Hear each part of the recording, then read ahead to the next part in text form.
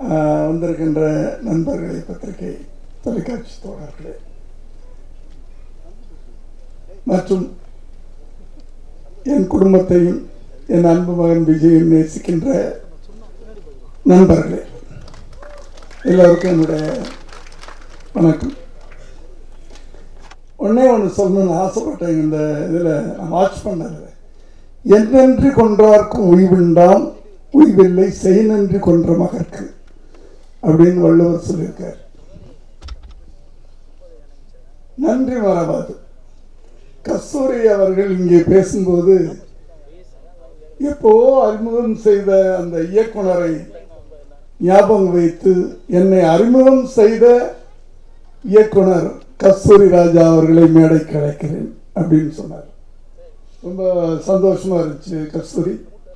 ஏன்னா இப்போல்லாம் வந்து மறந்துடுறாங்க. எப்படி நம்ம வந்தோம் அப்படின்றது ரொம்ப பேர் மறந்துடுறாங்க அடுத்து ஜாகுவார் தங்கம். அவருக்கு நான் வாய்ப்பு கொடுக்கல அவர் தான் எனக்கு வாய்ப்பு கொடுத்தாரு. அடுத்தது அவருக்கு நான் வந்து வாய்ப்பு கொடுத்தது உண்மை. ஆனால் விஜய்க்கு அவர் வந்து ட்ரைனிங் கொடுத்து இன்று அவர் வந்து ஃபைட்டு அது இது பண்ணிட்டு இருக்கிறாருன்னா அதுக்காக தான் அந்த நன்றியை நான் மறக்கலை. அடுத்தது இப்போ வந்து நம்ம வந்து ஒரு தகப்பனா புள்ள நம்ம நினைச்ச மாதிரி வரணும்னு ஆசைப்படுவோம் புள்ள வந்து வேற மாதிரி ஆசைப்படுவார். அப்படி ஆசைப்படும் போது அந்த பிள்ளையுடைய கனவை நிறைவேற்றி வைப்பது ஒரு தகப்பனுடைய கடமை அது. எல்லா தகப்பனுடைய கடமை. நம்ம நினைக்கிறத பிள்ளைகிட்ட தெரிஞ்சு நீ இதைத்தான் பண்ணணும் அப்படின்னு சொன்னோம்னா அது கெட்டு போய் இது கெட்டு போய் அந்த நடு ரோட்ல நிற்பார் அவர். ஸோ அந்த புள்ளையுடைய கனவை நிறைவேற்றி வைப்பது என்ன கனவு காண்கிறானோ அந்த கனவை நிறைவேற்றி வைப்பது ஒரு தகப்பனுடைய கடமை. எப்படியாவது கஷ்டப்பட்டு பண்ணிடணும் அதைத்தான் கஸ்தூர் ராஜா அவர்கள் பண்ணாரு. இங்க இருக்கிற அத்தனை பேரும் சௌத்ரி சார் பண்ணாங்க. இங்க சொன்னாங்களே ஆறு பேர். அத்தனை பேரும் பண்ணாங்க. இன்றைக்கு சிற்பி அவர்கள் செய்து கொண்டிருக்கிறார். நிச்சயமாக உங்கள் உங்களுடைய மகன் இல்ல உங்கள் கனவு நிறைவேற வேண்டும் என்று இறைவனை நான் வேண்டுகிறேன். சிற்பியுடைய கனவு நிறைவேற வேண்டும் என்று நான் இறைவனை வேண்டுகிறேன். ஏன்னா நான்- நான் ஒரு அப்பனா அந்த நேரத்தில் முதல்ல ஒரு மூணு படம். ஓ அந்த படத்தை எடுத்துட்டு அந்த ஃபஸ்ட்டு டே அந்த தேட்டரில் போய் உட்காந்து என்னுடைய மனநிலைமை எப்படி இருக்குமோ அதை நான் இப்போ க சிற்பியுடைய இடத்துல இருந்து நான் பார்க்குறேன். யாரோ சொன்னாங்க அவர் உட்கார்ந்துருக்கலாம் மேடையில் அப்படின்னாங்க. இல்லை. பிள்ளையும் உட்கார வச்சு அழகு பார்க்கறது தான் தகப்பனுடைய கடவுள் அழகு அது. எப்போவுமே அப்படி நிச்சயமாக ஏன்னா அந்த ப அந்த பாட்டு அந்த ட்ரைலர் பார்க்கும்போது ரெண்டு பேரும் க்யூட்டாக இருந்தாங்க. ரொம்ப அழகாக இருந்தாங்க. அஜித்மாக இருந்தாங்க. அப்படின்னு எனக்கு சொல்ல தெரியல. ஒரு லவ் சப்ஜெக்ட்டுக்கு இப்படி தான் இருக்கணும். ஒரு ஹீரோ ஹீரோயின் இப்படி தான் இருக்கணும். அவங்க க்யூட்டாக இருந்தாங்க ரெண்டு பேரும். அது பார்க்க ஒரு ரெண்டு மணி நேரம் ஒரு ஹீரோ படத்தில் நான் பார்த்துக்கிட்டே இருக்கணும்னா இந்த பையனை நம்ம ரெண்டரை மணி நேரம் பார்த்துக்கிட்டே இருக்கலாம். அந்த பொண்ணையும் பார்த்துக்கிட்டே இருக்கிறேன் அழகா இருக்காங்களா? அழகா இல்லையா நான் சொல்ல முடியாது. ஆனா எனக்கு நம்ம பார்த்துக்கிட்டே இருக்கணும் போல இருந்துச்சு. அதுவே ஒரு பெரிய ப்ளஸ் அந்த படத்துக்கு. இரண்டாவது மியூசிக் டைரக்டர்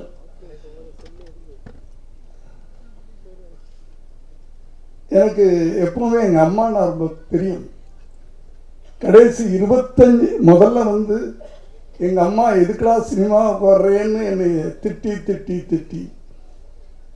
ரெண்டு அண்ணன் இன்ஜினியர் ஆயிட்டானே நீ இப்படி சினிமா சினிமான்னு அலையிறியன்னு சொன்னவங்கள கடைசி இருபத்தி மூணு வருஷங்கள் என் வீட்டில் வச்சு நான் அவங்கள வந்து அவங்க உயர்த்தினேன். தாயை உயர்த்த உயர்த்த கடவுள் நம்மை உயர்த்துவார்.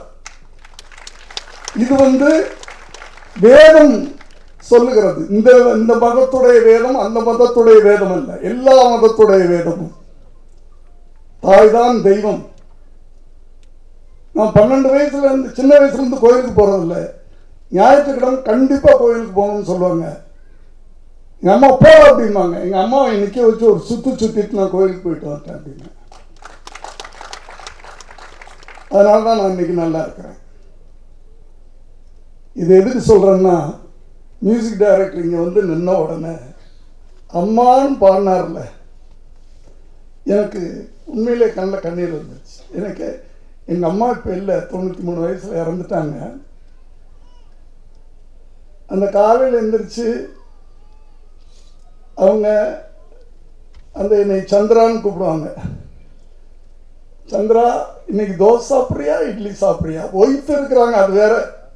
ஆனால் ஒரு தாய் அதே போல் நான் பத்து மணிக்கு வரும்போது நான் வர சத்தம் கேட்டு வீட் ரூமுக்குள்ளே இருந்து கேட்பாங்க. சந்திரா சாப்பிட்டு வந்துட்டியா? சாப்பிட போறியா? அப்படின்னு கேட்பாங்க. அதுதான் தாய். அந்த தாயை நாம் வணங்க வணங்க நிச்சயமாக ஐயா உங்க பாடல்கள் நிச்சயமா விட்டாங்க அது எப்படி இருக்கு என்ன இருக்குன்னு எனக்கு தெரியாது.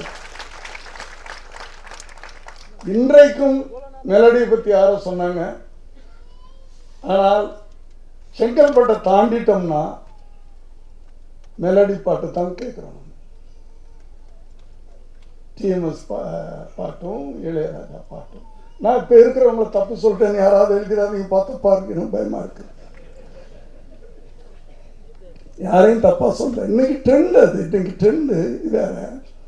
பட் அந்த செங்கல்பட்டை தாண்டிட்டோம்னா நீங்கள் வந்து ஒரு டீ கடையில் போய் ஒரு டீ சாப்பிட்டீங்கன்னா என்ன சாப்பிட்டாலும் அந்த பழைய மெலடிஸ் மெலடிஸ் வந்து சாகாத ஒரு அதுக்கு சாவே கிடையாது மெலடிஸ் ராத்திரி நேரத்தில் இப்போ இல்லை நான் குடிக்கிறதே இல்லை.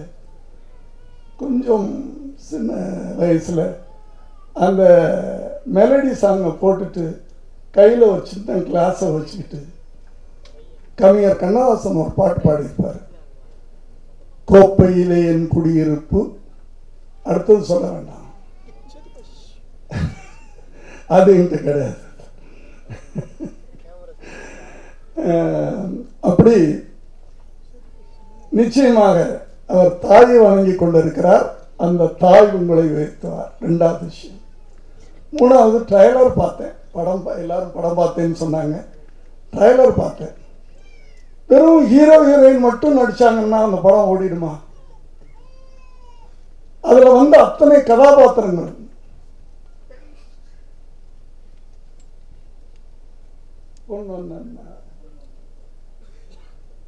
அது சும்மா ரெண்டு இடத்துல வந்துட்டு போனாரு. அந்த அந்த அந்த ஒரு கெட்டப் டைலாக்லாம் பேசல. அடுத்தது அஷ் சுரேஷ். அந்த கம்பீரம் அந்த அந்த அந்த அந்த அவர் வில்லனா நடிக்கிறாரா இல்லை இதாக என்ன நடிக்கிறான்னு தெரியாது. தூக்கி போட்டு ஒரே ஒரு டைலாக் சொன்னார் உன் காலில் விடாந்து போடுறேன்னு சொன்னேன் அப்படி. அந்த ஒரு ஒரு ஆப்பனண்ட் ஆப்பனண்ட் அப்படின்னு சொல்கிறோம்ல வில்லன் சொல்கிறோம் அது. அது வில்லன்னு சொல்கிறத விட ஆப்பனண்ட் அந்த ஆப்பனண்ட் அந்த ஆப்பனண்ட் ஸ்ட்ராங்காக இருந்தால் தான் கதை அந்த கதைக்கே வந்து வலிமையாக இருக்கும் ஸோ அந்த அந்த கம்பீரம் பள்ளி பருவத்தில் கடைசி அவன் சொல்லிட்டு போர் அடிக்கிறேன்னு நினைக்காதீங்க. என்னுடைய பழைய நினைவுகளுக்கு போயிட்டேன் நான். பரமக்குடி பக்கத்தில் காமன்கோட்டைன்னு ஊர். எயித்து படிச்சுக்கிட்டு இருக்கேன். எப்போதுமே அந்த முதல் காதல் அது விவரமறியாத சமயத்தில் வர்ற காதல். ஆனால் அந்த காதலை மறக்க முடியாது. அதை கடந்தவர்களும் யாரும் இருக்க முடியாது என்று நினைக்கிறேன். பெரும்பாலும் எல்லாரும் இல்லை. பெரும்பாலும் அந்த பள்ளி பருவத்தில் அந்த லெட்ரு கொடுக்காதவங்க யாரும் இருக்க மாட்டாங்கன்னு நினைக்கிறேன். லெட்ரு கொடுத்து சிலர் உதவ வாங்கியிருக்கலாம் இல்லை திருப்பி லெட்ரு வாங்கியிருக்கலாம். அது வேற அப்படி எனக்கு ஒரு வா- நடந்தது. அப்போவே நான் வந்து கொஞ்சம் ரெவல்யூஷனிஸ்ட் கிராமங்களில் பார்த்தீங்கன்னா நான் சொல்கிறது நாற்பத்தா அஞ்சு வருஷத்துக்கு முன்னாடி ஒரு பொண்ணை லவ் பண்ணிட்டேன். லெட்ரு கொடுத்துட்டேன். அந்த பொண்ணு லெட்ரு கொடுத்துருச்சு. சொல்லாவேன் ஒரே குஷி நண்பர்களோட. ஆனால் என்ன நடந்து போச்சுன்னா அந்த ஸ்கூலில் அந்த ட்ரில் மாஸ்டர் பிடி மாஸ்டர்னு சொல்லுவோம். அவர் அந்த பொண்ணை சைட் அடிக்க ஆரம்பிச்சிட்டார். விடுவோமா நாங்கள் நான் அஞ்சு பேர் சேர்ந்து காலையில் அப்போலாம் வந்து அவுட் ஆஃப் இதுதான். இது கழிவறை தான் அவர் ஒரு மரத்தடியில் ஆலமரத்தடியில் வந்து எல்லாரும் போவோம். அவரும் வந்து உட்காருவார்.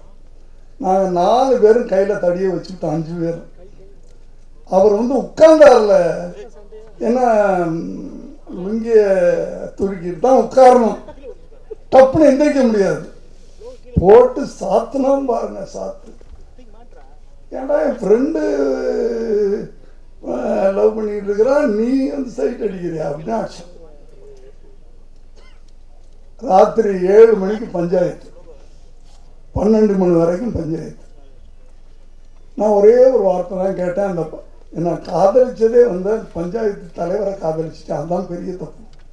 உங்களுக்கு தெரியும் அந்த காலத்தில் நாற்பத்தஞ்சு வருஷத்துக்கு முன்னாடி கிராமத்தில் காதல்னா எப்படி இருக்கும்? நான் ஒரு வாத்தியார் அம்மாவுடைய பிள்ளை. அந்த பொண்ணு பஞ்சாயத்து. நான் ஒன்று அவங்க சொன்னாங்க நாளை காலையில் விடியறதுக்குள்ளே நீ வீட்டை விட்டு போயிடணும். உங்கள் அம்மாவும் உங்கள் அப்பாவும் இந்த உங்கள் உங்கள் அம்மாவும் உங்கள் அப்பாவும் நீயும் எங்கள் அண்ணன் ரெண்டு பேரும் ஹாஸ்டலில் படிக்கிறாங்க. அதனால் மூணு பேரும் ஊரை விட்டு போயிடணும்னு சொன்னாங்க. நான் ஒன்றே ஒன்று தான் கேட்டேன். உன் பொண்ணை கூப்பிடியா? அந்த பொண்ணு என்னை காதலிக்கிறேன்னு சொன்னால் நான் காலையில் என்னை இப்போ நைட்டோட நைட்டாக போயிடுறேன் அப்படின்னு சொன்னேன் அந்த பொண்ணு அங்கேருந்து வந்துச்சு. எனக்கு ஒன்றுமே தெரியாது அவரை பற்றி தெரியாது அப்படின்ருச்சு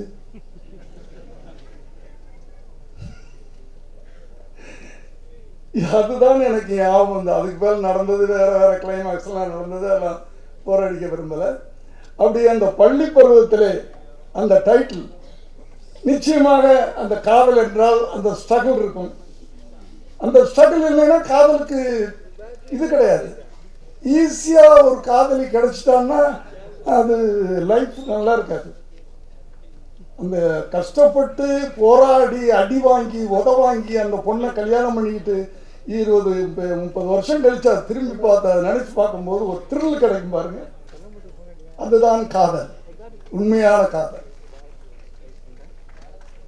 ஏன்னா இதுல அந்த ட்ரைலர்ல எல்லாமே இருக்கு. நான் சொன்ன அத்தனையும் அந்த ட்ரைலர்ல அந்த அந்த உணர்வு இருக்கிறது. ஆகவே வாழ்க்கையில் காதலித்த அத்தனை பேர் இந்த படத்தை பார்ப்பார்கள். காதலிக்க வேண்டும் என்று ஆசைப்படுபவர்களும் இந்த படத்தை பார்ப்பார்கள் என்ற நம்பிக்கையோடு விடைபெறுகிறேன். நன்றி வணக்கம்.